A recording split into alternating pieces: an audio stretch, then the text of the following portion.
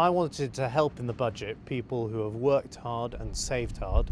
These pension changes and this support for savers throughout their lives are all about building a stronger, more resilient economy, and it's part of our long term economic plan that we address the weaknesses in the British economy, one of which is that we don't save enough, and these measures will really help responsible people.